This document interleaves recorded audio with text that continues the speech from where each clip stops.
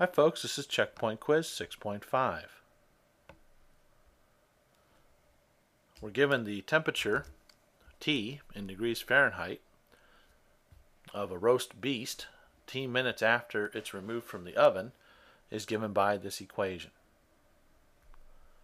So in part A, we're asked to find and interpret T of 0. Okay, so the find part, T of 0, means everywhere we see a little t in the formula, we replace it with 0.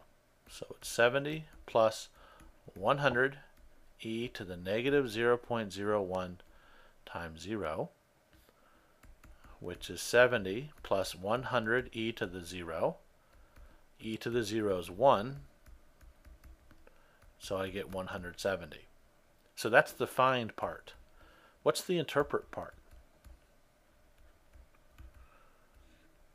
Well, I'm plugging in little t is 0.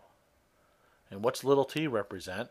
That's the minutes after it's removed from the oven. So that means that when it's removed from the oven,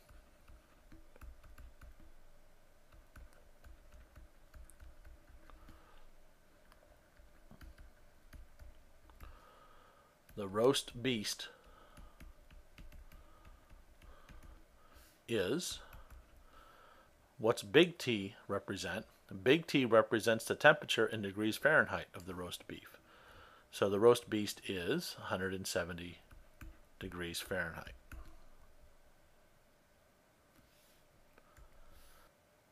All right, in part B, we're asked to find when the temperature of the roast beast is cooler than 80 degrees Fahrenheit. The temperature is given by this function. So we're trying to find when this is less than or equal to 80. So we substitute in the formula for big T of little t.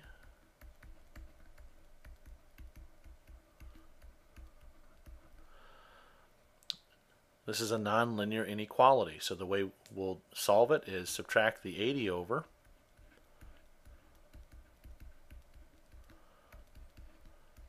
and make a sign diagram. So I'm going to call this part the f of t.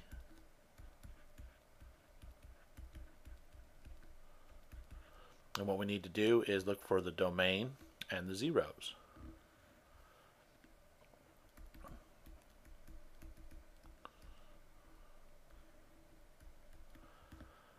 Okay, so the domain, there's no problems. There's no denominators. There's no even indexed radicals like square roots or fourth roots. And there's no logarithms. So then we just have to focus on finding the zeros. So I set f of t equal to 0. And so I've got 100 e to the minus 0.01 t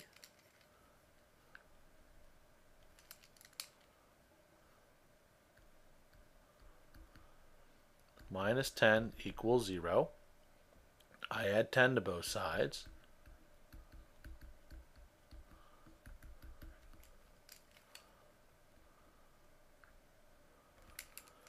Isolate the exponential, divide by 100.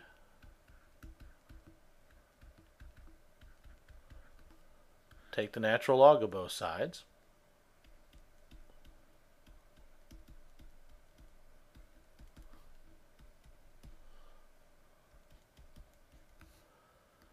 The natural log and the exponential function base e are inverses, so the left-hand side just collapses to 0.01t.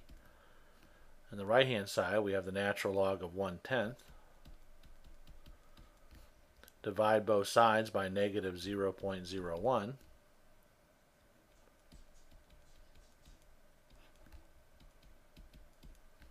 And simplify. Dividing by negative 0.01 is the same as multiplying by negative 100. And I can rewrite 1 tenth as 10 to the minus 1 and bring that down. And so I get t is 100 natural log of 10. And so that's my critical value. So now it's time to actually construct the sign diagram. Okay, so here was the inequality. I'm calling that thing f of t. The only zero we found was 100 natural log of 10. So we go off to make our sign diagram. And even the domain, even though the domain of this function is all real numbers, we have to keep in mind the applied domain of the problem. t is only bigger than or equal to 0 to begin with. So put t equals 0 here. And uh, at 0, um, it is defined, so I don't need to, to worry about that. And now I look at 100 natural log of 10. And so you may ask, how do we know this is a positive number, that it's going to actually end up over here? And the answer is um, the natural log of x is an increasing function. It crosses the x-axis when x equals 1. So actually, this 0 here, if I wanted to to rewrite it, this is the natural log of 1. Okay, so that's well beyond that. Now we need to pick some test values in here. And once again, we want to try to think of values that are going to be convenient to plug into this formula. And we've got this negative 0.01, so that's a negative 1 over 100. So we're going to pick 100 natural log of 9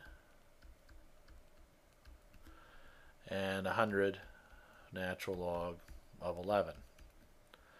Okay, so I plug that into my function.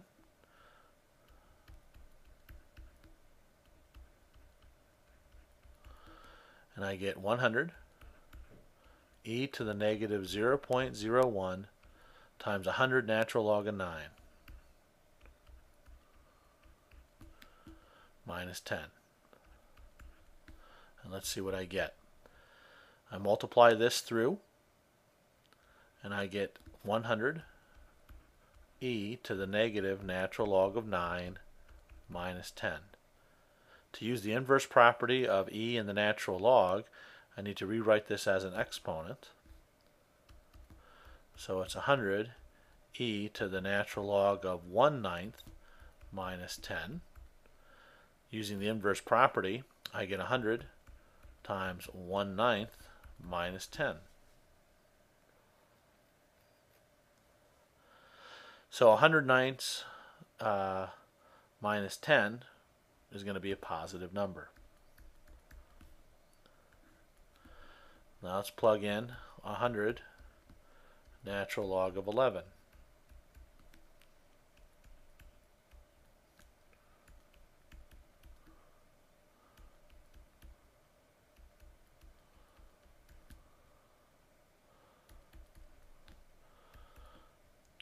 These uh, cancel the same way they did before. I'd have to bring the negative up on the 11. So this is going to give me e to the natural log of 1 over 11.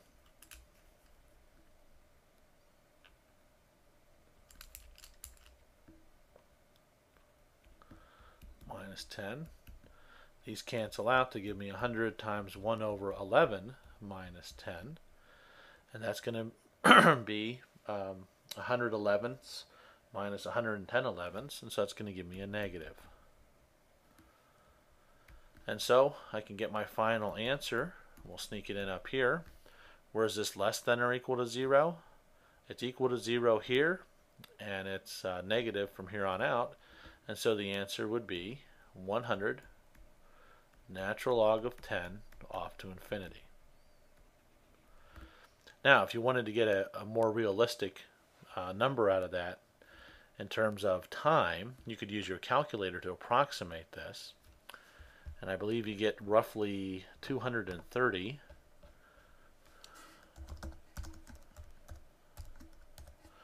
yeah, 230.25 minutes. So basically it's it's cooler than 80 degrees Fahrenheit after uh, 230 minutes. So it's nearly two hours for this roast beast to cool down um, to a temperature under than 80 degrees. So that'll do it then for part B.